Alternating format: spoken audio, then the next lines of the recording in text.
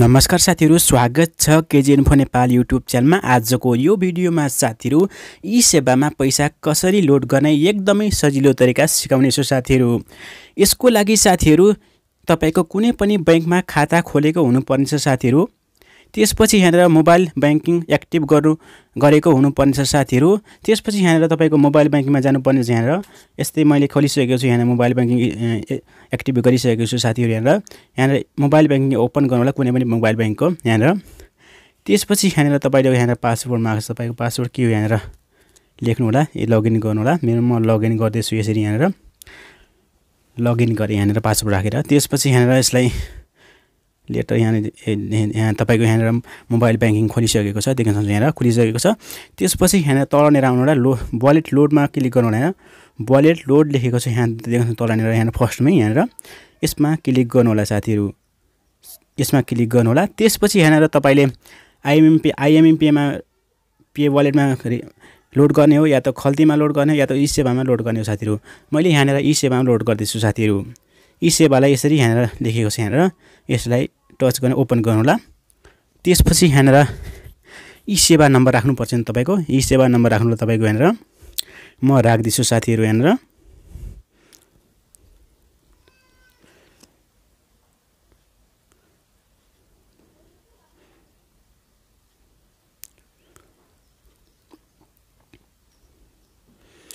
तपाईँको ई सेवा ई सेवा नम्बर राख्नुलाई यसरी यहाँनिर मैले राखिसकेँ देख्छु यहाँनिर मैले राखिसकेँ यहाँनिर।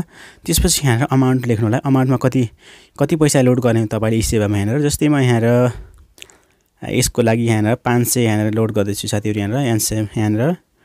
पाँच सय लोड गरेँ। त्यसरी रिमार्क्समा लेखेको छ तलनिर यहाँनिर। देख्नुहोस् रिमार्क्स लेखेको छ। यसमा यहाँनिर तपाईँले वान टू थ्री लेख्नुलाई केही छैन यहाँनिर। वान टू थ्री यसरी लेख्न सक्नुहुन्छ के केही पनि लेख्न सक्नुहुन्छ तपाईँ यसरी। त्यसपछि यहाँनिर सक्नुहुन्छ यहाँनिर यहाँ एरो देखाएको छ त देख्न सक्नुहुन्छ यहाँनिर। एरोमा क्लिक गर्नु यसरी तपाईँको एरोमा क्लिक गर्नुला त्यसपछि यहाँनिर कन्फर्ममा क्लिक गर्नुलाई यसरी यहाँनिर तपाईँको नम्बर सही छ कि छैन वालेटको यहाँनिर ई सेवा वालेटको यहाँनिर नम्बर यहाँनिर देख्नु यहाँनिर। यहाँ नम्बर देखाएको छ। त्यसपछि यहाँ तलनिर कन्फर्ममा क्लिक गर्नु यहाँनिर कन्फर्ममा क्लिक क्लिक गर्नुहोला त्यसपछि यहाँ तपाईँको मोबाइल ब्याङ्कको कोड नम्बर चारवटा कोड नम्बर राख्नुपर्ने हुन्छ तपाईँको।